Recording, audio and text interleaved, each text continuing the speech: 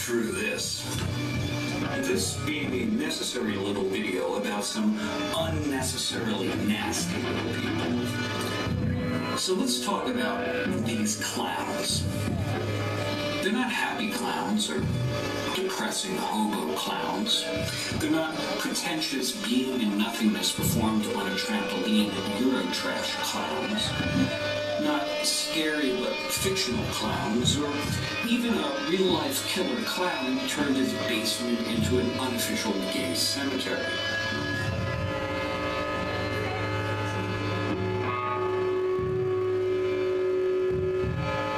No. First off, I have to tell you about this clown.